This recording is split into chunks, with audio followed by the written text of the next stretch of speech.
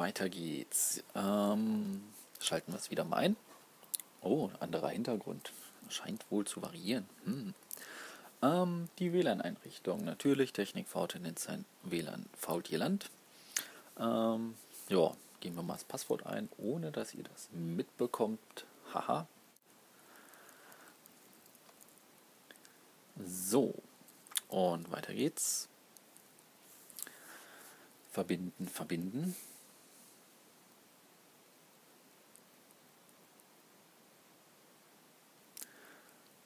Okay. Meine Timezone, Pacific, hm, ne, hier bin ich doch gar nicht. Tijuana, ja nee, klar. Äh, minus, minus, minus. Na, wo haben wir es denn? Plus 1. Müsste doch hier irgendwo sein.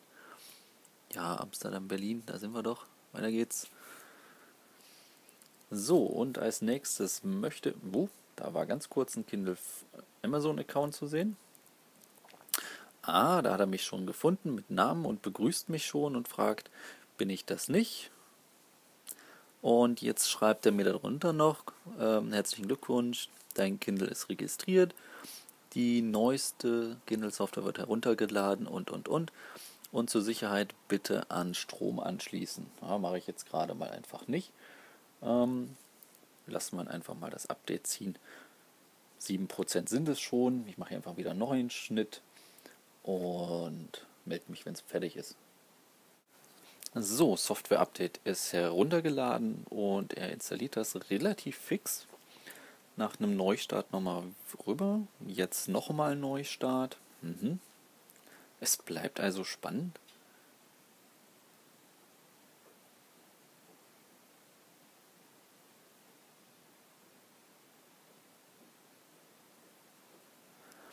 Ich sehe gerade auf dem Monitor dieser Schriftzug Kindle Fire, der flackert. Ähm, keine Angst, das liegt nur am iPhone, an der Videoaufnahme. In Realität sieht man da nichts flackern.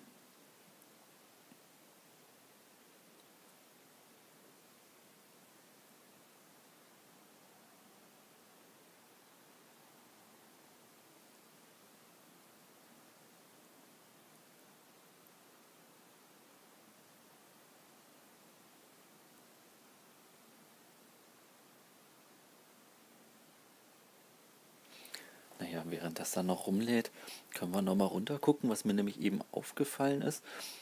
Ich habe zwar Headset, Micro-USB und Einschalter. Ich habe hier oben die beiden Lautsprecher. Oder vielleicht ist auch nur einer, keine, kein Plan, sorry. An der Seite hatte ich ja nichts und auf der Rückseite eigentlich auch nur dieses leicht gummiert sich anfühlende. Was ich nicht habe, ist ein An- und Ausschalter, so ein Kippschalter an der Seite, wie man das vom iPad gewohnt ist. Und was ich hier unten auch nicht habe, fällt mir jetzt auch erst ein, äh, auf, hier ist nirgendwo noch ein zusätzlicher Home-Button. So, da sind wir wieder mit unserem bekannten Hintergrund. Und wir bekommen unsere Einführung. Okay. Mhm, mhm, mhm. Äh, Navigation Bar, okay. Das haben wir, denke ich, jetzt verstanden. Einfach mal gucken, wie geht es weiter. Ich halte mal was tiefer. Plopp. Ähm, okay, Karussell. Favoritenablage. Was ich jetzt schon mal sehen kann, also die Schrift ist sehr scharf. Und von den Farben bin ich auch hin und weg. Also, wow. Okay, nächstes Quick Settings. Quick Settings oben. Äh, sozusagen unser Home-Button halt jetzt nur als auf dem Display. So, das war's. Da sind wir ja schon. So sieht der Kindle also aus, wenn man jetzt zum ersten Mal reinguckt. Mhm. Gehen wir mal durch meine. Oh, er hat sogar schon meine Bücher reingeholt. Also ich glaube, ich hatte da nicht viel drin beim Amazon Kindle Store. Ähm, lustigerweise, glaube ich, habe ich, die habe ich sogar im deutschen Kindle Store gekauft. Die sind jetzt auch hier im amerikanischen mit dabei. Ist natürlich schon mal stark. Ähm, Scrollen geht sehr schick. Absolut flüssig. Äh, auch nochmal sowas. Ich halte den jetzt hier wieder seit gut drei Minuten in der linken Hand. Ähm, er wird nicht schwer. Auch wenn er sich halt vom Gewicht am Anfang ich etwas überrascht war. Das Ding kann ich auch mit einer Hand noch halten. So, gehen wir mal durch. Newsstand. Hm. Ist natürlich nichts. Cloud und auf, der, auf dem Kindle selber. Ich könnte jetzt oben in den Store gehen, mal gucken, ob er mich da reinlässt. Testen wir doch einfach mal aus. Klar, eine große Frage ist auch für mich, wie viel kann ich jetzt hier aus Deutschland überhaupt mit dem Kindle machen? Ich denke mal, Bücher kaufen sollte alles kein Problem sein. Nachteil wird dann wieder sein, ähm, Filme und Musik. Wobei doch, Musik müsste eigentlich auch gehen. Aber egal, das testen wir ja alles noch raus. So, gehen wir mal wieder zurück. Okay, Newsstand hatten wir, unsere Bücher hatten wir eben auch. Ja, so Bücherregal, das kommt uns doch von irgendeinem anderen Gerät äh, bekannt vor. iPad, Hust, Hust. Musik, da ist nichts drin. Shops Music Store. Hm. Zumindest zeigt er mir was an. Okay. Dann Videos, gleiches Spielchen wahrscheinlich. Oder kommt jetzt irgendwo die Meldung, ähm, nee, hier aus Deutschland kannst du leider auf den Store nicht zugreifen. Uh, auch schick.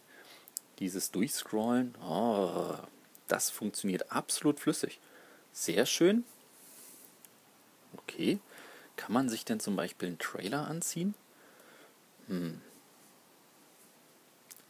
Ah, Watch Now, Watch Trailer. Schockmoment. Na, dreh dich. Na? Ah. Nur so rum anscheinend.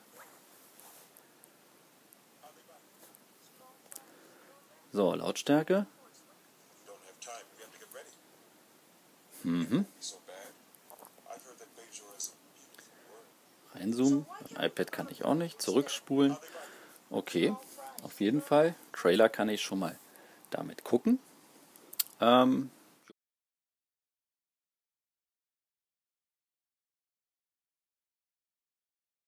und drehen kann ich es also auch.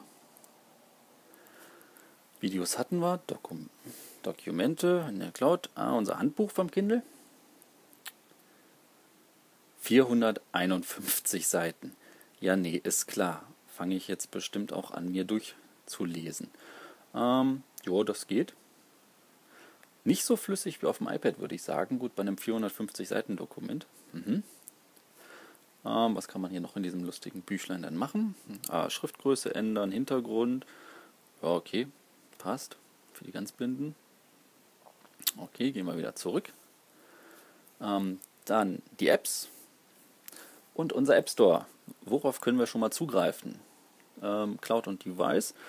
Hm, was nehmen wir denn? Oh, Audible. Ja gut, Audible gehört zu Amazon. Klar, dass das drauf ist. Aber laden wir uns hier noch mal diesen X-Comic Reader runter. Install. Bin ich doch mal gespannt. Oben sagt er mir schon Download started. Uh, also wie gesagt, out of the box, ich habe hier noch nichts geändert, nichts eingestellt, nichts rumgewerkelt, aber mh, ich habe Zugriff auf den App Store anscheinend. So, gucken wir doch. Ja, okay. License. Ja, da sind wir schon. Also dieses Comic-App funktioniert schon mal. Klasse. Ähm, ja, das läuft hier auch absolut flüssig. Okay, wieder zurück. Apps scheinen zu funktionieren. Was habe ich hier noch drauf? Hm, sonst eigentlich noch nichts. Wieder meine Bücher. Ah, Bücher und Apps sind im gleichen.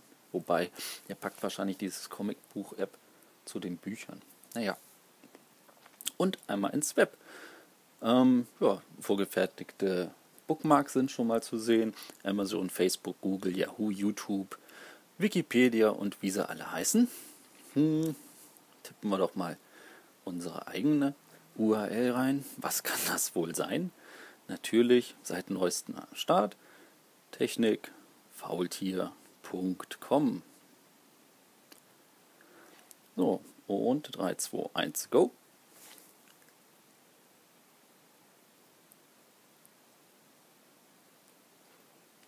Zap, zap. Ja, flüssig. Also, wenn's, wenn, wenn hier was nicht liegt, äh, schnell lädt, dann liegt das eindeutig an meinem bescheuerten WordPress-Setup. Ich weiß, ich weiß. Aber, oh, da unten kommt der Hinweis. Double Tap to Zoom in and out. Ähm, Scrolling über die Webseite geht absolut flüssig. Der hat die hier auch jetzt im WLAN schön schnell geladen. Ähm, gucken wir mal rein. Double Tap, wie war das? Okay, nochmal wieder raus. Ähm, Think Multi, oi, okay, ja, das geht. Das sieht auch flüssig aus. Ich würde mal sagen, nicht so flüssig, wie man das von, von iOS-Geräten gewohnt ist, aber kann man absolut mit leben. So. Ähm, sieht doch schick aus. Wie klappt das mit Videos? Testen wir das auch direkt. Okay, jetzt sind wir an dem Punkt. Ein Lautstärkeregler wäre gar nicht verkehrt. Hm. Nee. Hallo YouTube, willkommen zu einer neuen Folge von Ja, stopp, Ruhe. Das sind die fünf Minuten, in denen ich über all das rede, was diese Woche so passiert ist, beziehungsweise natürlich nur der Teil, der für mich einigermaßen interessant war. Fangen wir direkt mal an. Der Na? Aufreger der Woche, der Integrationsbambi für. Naja, okay. Äh, lassen wir das. Da muss ich noch rumspielen. Ähm, nehmen wir mal einfach mal eine andere Webseite. Nehmen wir mal hier ESPN. Gucken wir mal, ob wir da überhaupt drauf kommen und wie die aussieht. Ja, lädt jetzt. Okay. Ja, da haben wir sie. Hm. Zoomen wir mal rein. Wieder raus. Okay. Das gefällt schon mal sehr gut. Auch das, wenn ich hier so ans Schriftbild gucke, das sieht sehr scharf aus. Ich würde, also auf jeden Fall schärfer als auf dem, auf dem iPad 1. Ja, ich habe hier oben ganz normal meine Tabs. Ich kann mehrere Tabs aufmachen, aber gehen wir mal wieder zurück. Was jetzt hier gerade fehlte, war lustigerweise der Home-Button. Da konnte ich jetzt nicht hin. So, was gibt es denn noch für Features? Oben eine Leiste, wie man das von Android gewohnt ist. Nein. Hm. Drehen wir es mal. Okay, dreht sich mit. Was haben wir jetzt noch nicht? Was können wir noch machen? Gehen wir mal in die Einstellung. Okay, Volume. Ah, hier haben wir unseren äh, Lockscreen-Stopper, also dass sich nicht mehr mitdreht. Volume war klar. Das haben wir jetzt schon auf voll. Oh, testen wir doch mal die Helligkeit. Helligkeit jetzt auf zwei Drittel. Ja, ein Drittel kann man immer noch mit umgehen. Ein Viertel, da wird wahrscheinlich da neben die Spiegelung, da sind zu viele Spiegelungen. Machen wir mal volle Leistung. Da sehe ich jetzt null Spiegelung mehr.